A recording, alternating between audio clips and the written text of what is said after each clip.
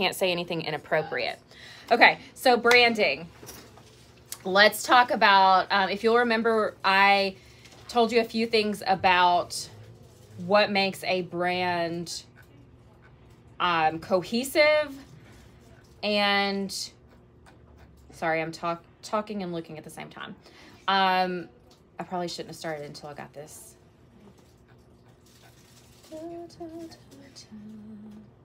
i must have closed it down when i was looking for synonym for otherwise okay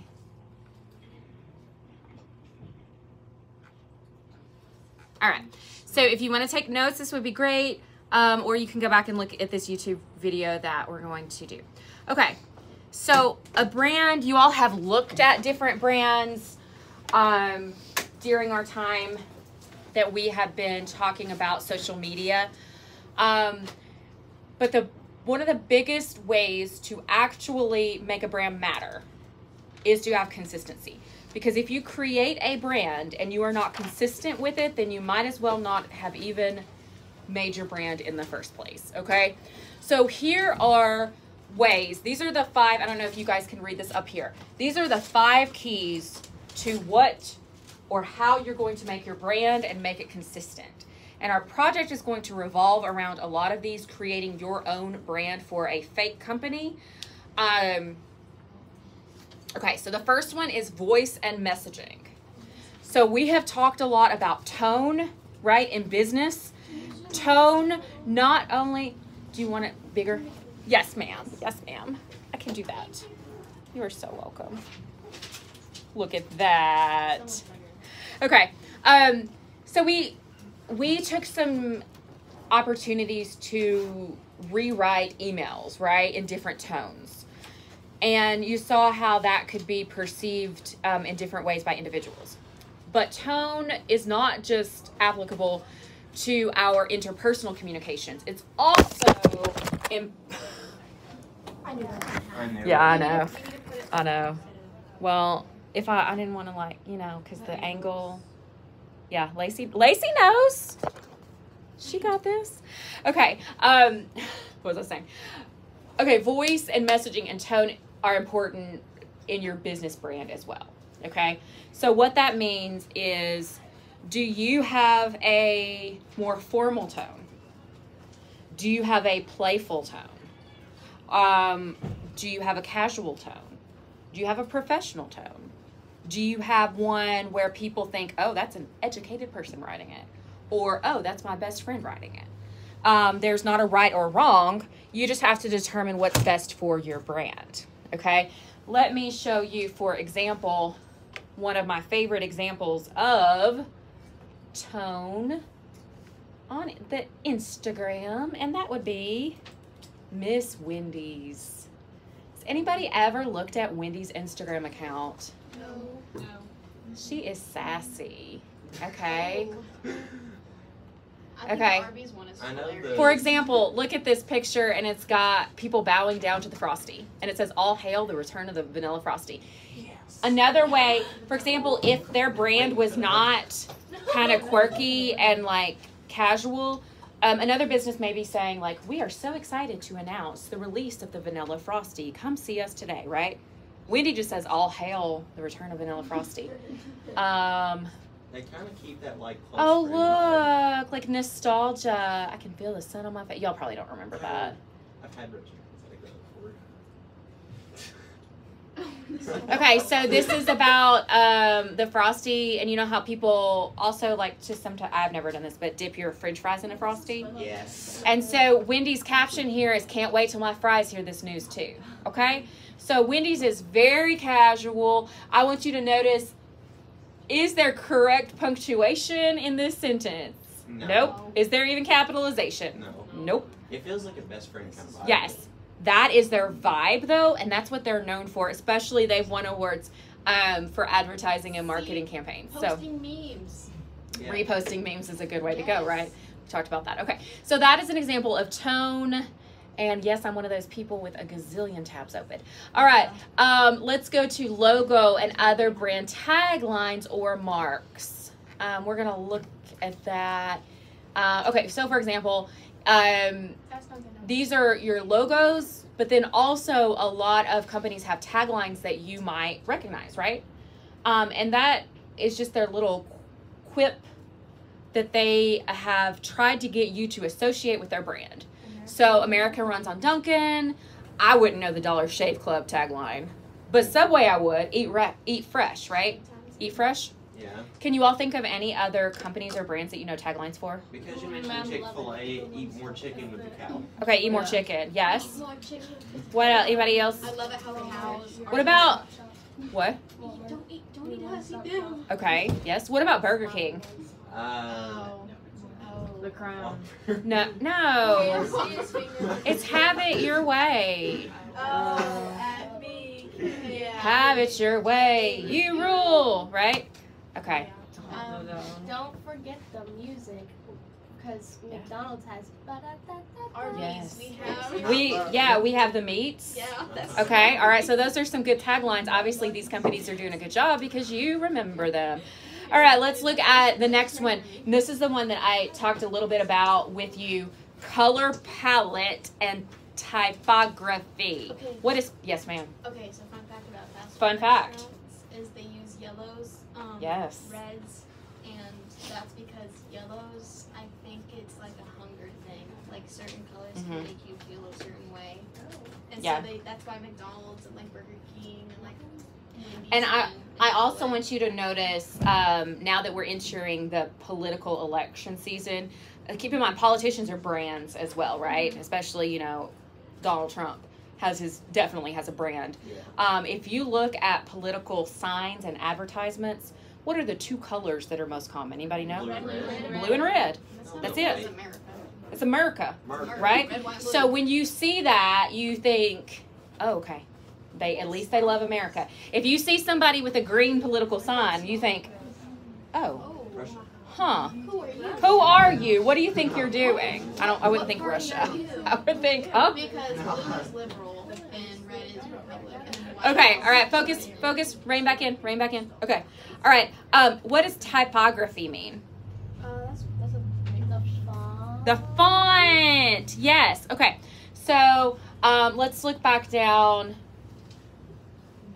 You passed it. When you see, hold on. Uh, when you see this font, you obviously think Subway. Let me show you this. Um, That might be important. if you see that Legos. Lego. this font right here, Yeah. is definitely Lego font. Um, also, Apple font. yeah, this is a very um, recognizable right here. This is literally Dr. Seuss has a registered font. Um, okay, so not all brands are going to have their own custom font, but you do want to be consistent with what you choose. That doesn't mean you only use one font. You may use two or three, but you're going to stay within that family, all right? Because otherwise it's going to be chaotic and not I cohesive. thought you told us when you did that thing for Knoxville, Yes. you had to stick between I did. certain guidelines. Look at you listening to me. Okay, photography. What do I mean by photography? Why do you think that that matters in brand cohesion? You make it look pretty, people might want it more. True. Photography is like it's like visual appeal. Okay. So how does it? kinda, like, How can you- it stay oh, consistent? It shows you what you're doing, kind of like how Subaru, like when they were like taking photos of stuff, it was cars, Yeah. dogs, and kids and families. Okay. And like trips. Also, the style that you use. I'm gonna use Riley Joe as an example. She has a very distinct style. Anybody know Riley Joe?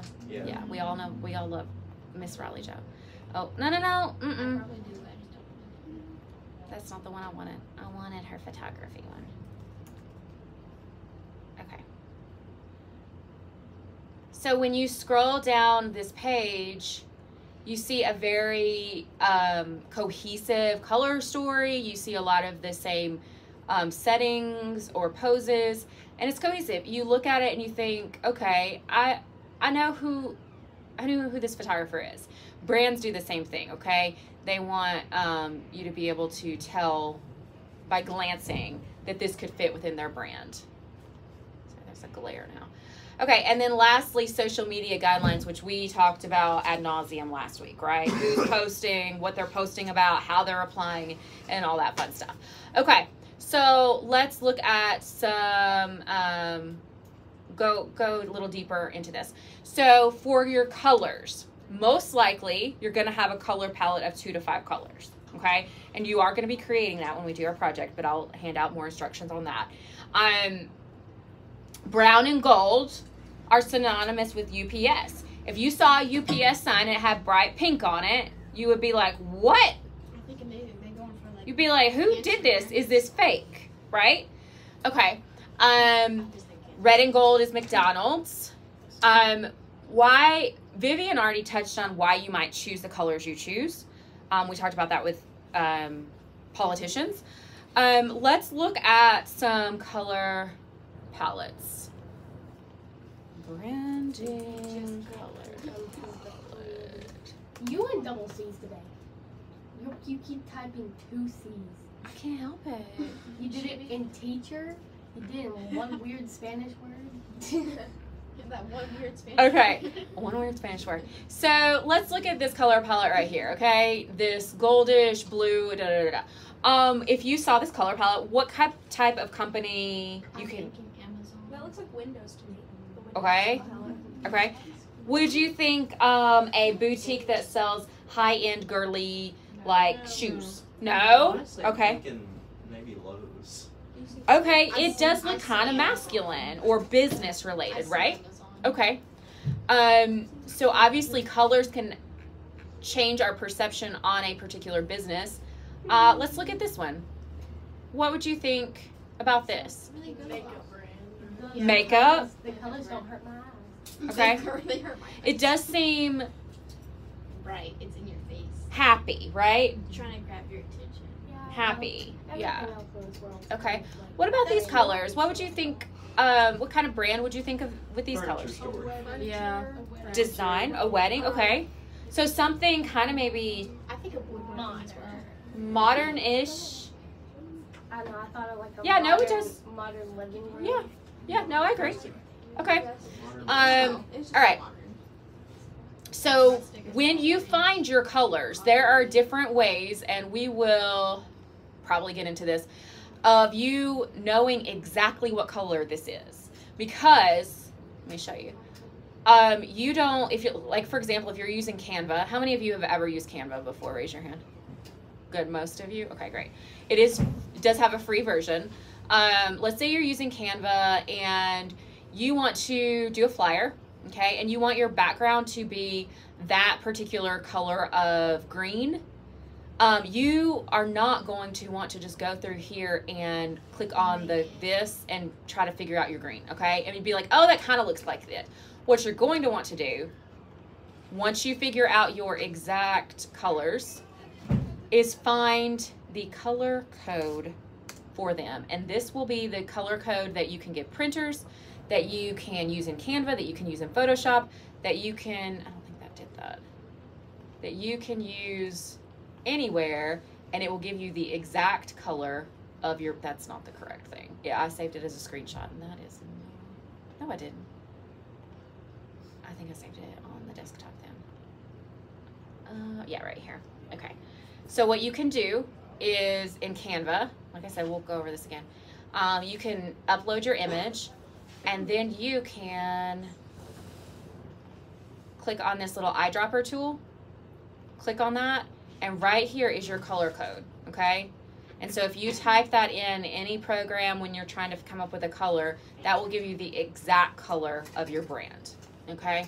And that's how you stay consistent um, and not just be like, oh, it kind of looks like it, right? Okay. Typography. So, typography also can tell us about brands, okay? That gives us the, um, let me close these. Um, that can tell us things about it. So, for example, let me type a few, what word should I type? I'm going to type hello. Okay.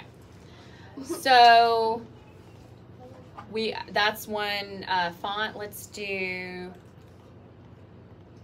I'm just, I'm random. I'm not even. Okay, great. Oh. So tell me the difference if you saw a brand and it used this font versus the bottom font. What would you think were the differences between these two brands? One looks soft, one looks bold. One looks One very looks more inviting, and the other, it honestly looks like it'd be more. technical, like Oh, Technology. yes. Yep, exactly. Absolutely. Absolutely. I agree. Um, Hello looks like Hello Fresh. it's Okay, the next messaging.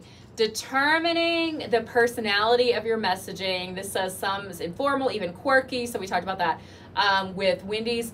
You want to do your research about your competitors and figure out um, if they have a large following and you're trying to steal some of the market share. You might want to ad- adapt the same type of tone because obviously they're doing something right.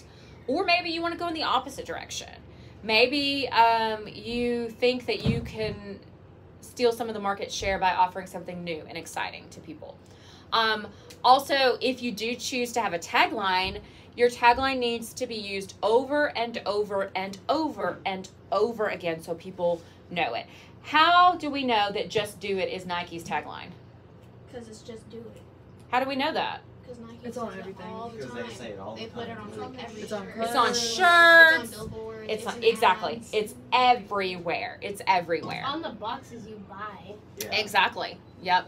Exactly. Um, okay, and then this talks about the user experience.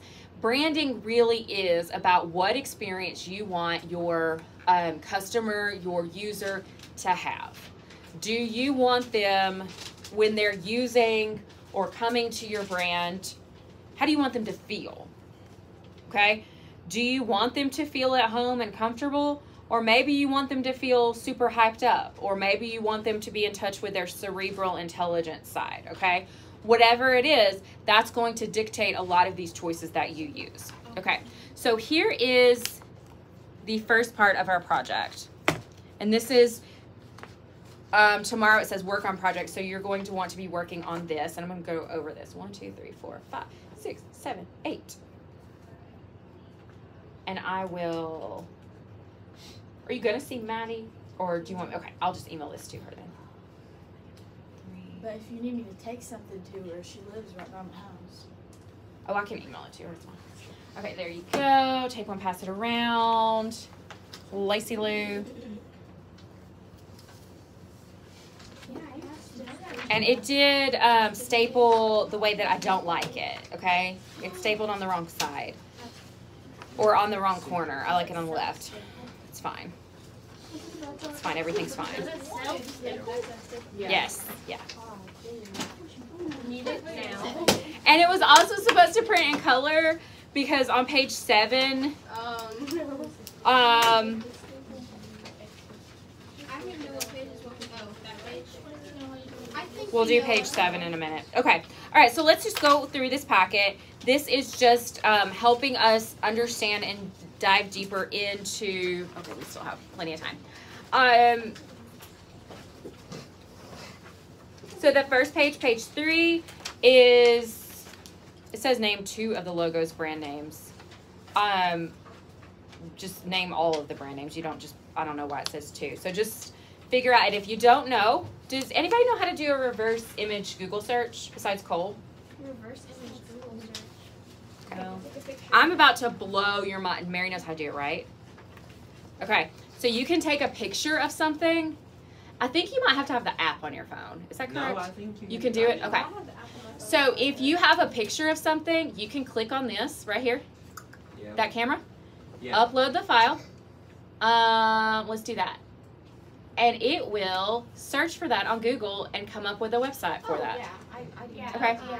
You do I that? with Pinterest. That's how I Yeah. find out if someone's like I the literally do it all the pictures time, they're 'cause I'm like, putting. 'cause Yes. they'll Yeah. So if you don't know one of these logos, you can do that. Take a picture of it, do reverse Google um, image search, and figure that out.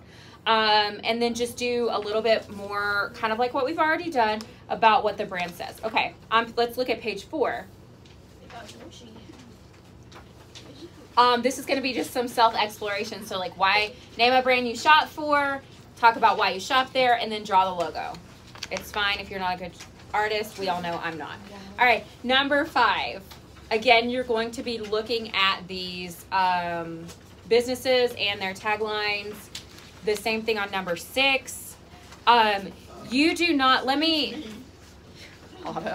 Of course, I'm on Facebook Live with this. I mean, YouTube. Um, this whole project that is going to include this packet as well as your brand that you're creating, which I'm going to give you detailed instructions for that on Tuesday. Um, Talking about this one. yeah, I'm going to go over that in a second. Hold on. Um, this packet is going to be due when you present your brand Christian Louboutin. I feel like you're not focusing. Focus, focus, because you need to hear this. Okay, this is going to be due on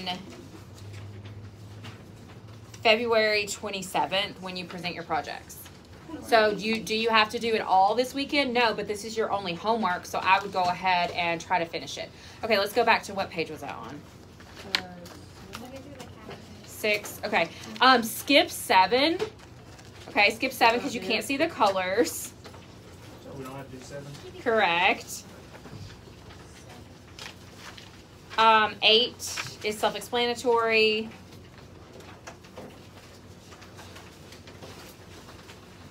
Nine, you can skip nine, so put an X on that.